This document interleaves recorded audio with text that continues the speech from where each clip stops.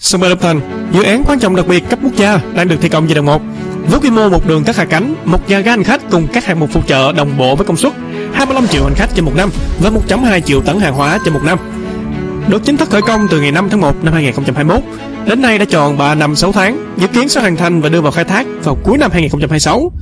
Hôm nay cả nhà cùng Tim Rua cập nhật lại tiến độ thi công mới nhất của sân bay Long Thành tháng 7 năm 2024 nhé.